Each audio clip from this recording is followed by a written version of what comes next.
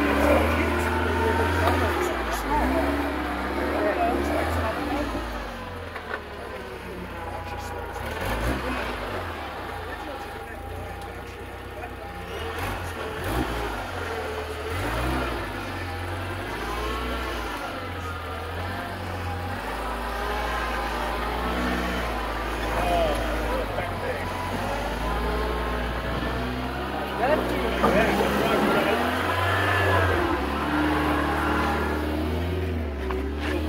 little bumper scraper. That guy's a real bumper.